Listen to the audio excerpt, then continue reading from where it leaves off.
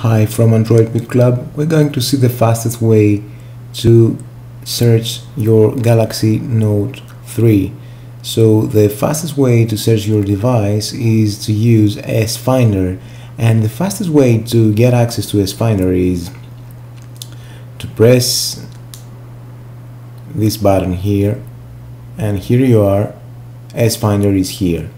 So let's do it again. There is the menu button here. You press it and this finder is here and you can search for example camera and you can have access to some applications some settings all about the camera or you can search the web just with one click